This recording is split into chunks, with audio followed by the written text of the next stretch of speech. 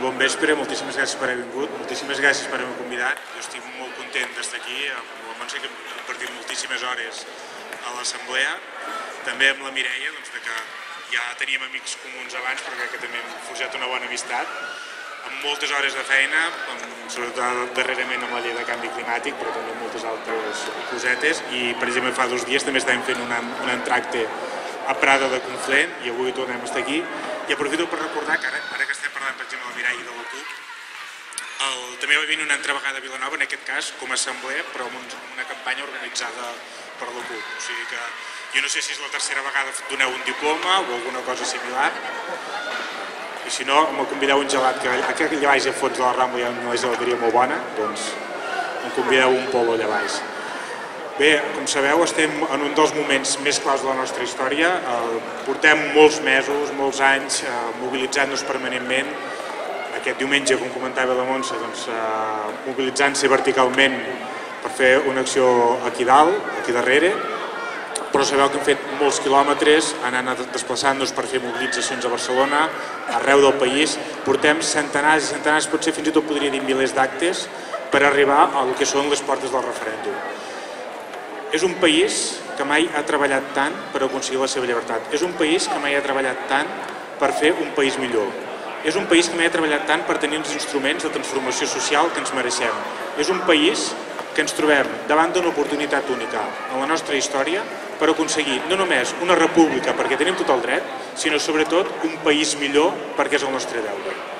Aquí, a la Vilanova i la Geltrú, Cubelles, a Sant Pere de Ribes, a Sitges, que em sembla estan de festa major, no? si no em falla la memòria, tots els municipis del Garraf i tota la resta de Catalunya constantment es van fent actes.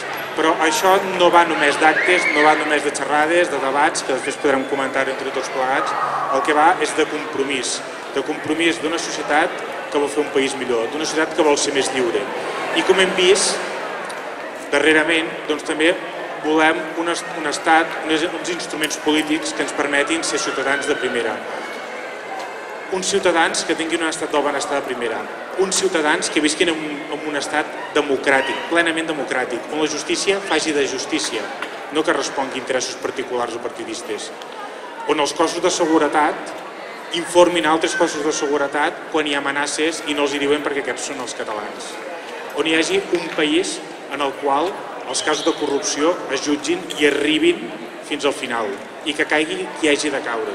Un país en el qual les empreses energètiques no marquin les lleis i que després la ciutadania no només no pugui posar-se plaques solars a casa seva, sinó que a més a més pagui l'electricitat més cara de tota Europa.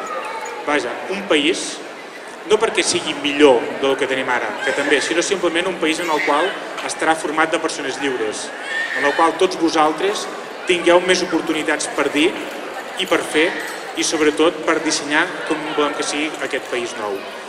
L'estat espanyol sabeu que té una Constitució que a finals del, de la dècada dels 70 doncs una sèrie d'homes, cap dona, recordo cap dona, tancats en un despatxet, allí amb el soberano, amb el brandy, eh, amb la copa, anant remenant, perquè sabeu que el brandy, el soberano s'ha de remenar, i aleshores amb el puro, amb el, suposo, segurament per aparentar no devia ser una fària, sinó que devia ser un Montecristo, doncs van decidir com havia de ser aquesta Constitució que curiosament es veu que és inamovible, que curiosament no es vol tocar. I a més a més no només eren homes i lògicament d'una certa edat, per tant faltava la meitat de la població, sinó que a més a més tenien al costat tenien al costat una cosa que es deia exèrcit franquista, que deia esto sí, esto no, esto me lo corregís, que no me, me termina de gustar, i lògicament la pistola, com recordava la, la Montse, doncs amb la pistola sobre la taula. Ara tenim una oportunitat, un, de votar per decidir quin futur volem com a Catalunya, com a república o com a comunitat autònoma, per una banda, però sobretot tenim l'oportunitat de tots plegats, a partir del dia 2, quan comença el procés constituent, de ser mares i pares d'aquesta Constitució. Mares i pares d'aquest nou país que volem. I sobretot un nou país que sigui flexible, que sigui inclusiu, que accepti els canvis, que accepti la diversitat en totes les seves vessants. Un país nou, un país millor, però sobretot un país que construirem entre tots. Moltes gràcies.